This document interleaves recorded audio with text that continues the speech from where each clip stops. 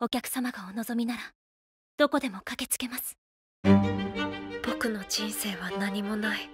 情熱も希望も。ねえねと一緒にいた時のこともうほとんど忘れちゃったや。手紙を書きませんか？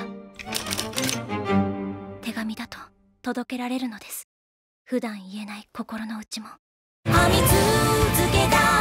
会いたい人とかいないの？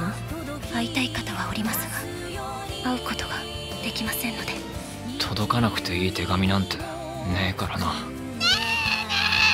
本当はこの子も不幸になるはずなんだ。でも僕が幸せにする。